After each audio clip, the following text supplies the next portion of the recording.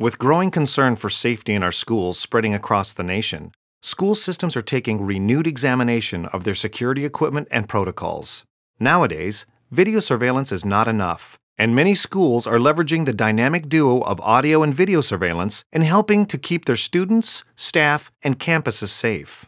Audio is a great tool that provides additional monitoring and easily integrates with existing cameras and visitor management systems.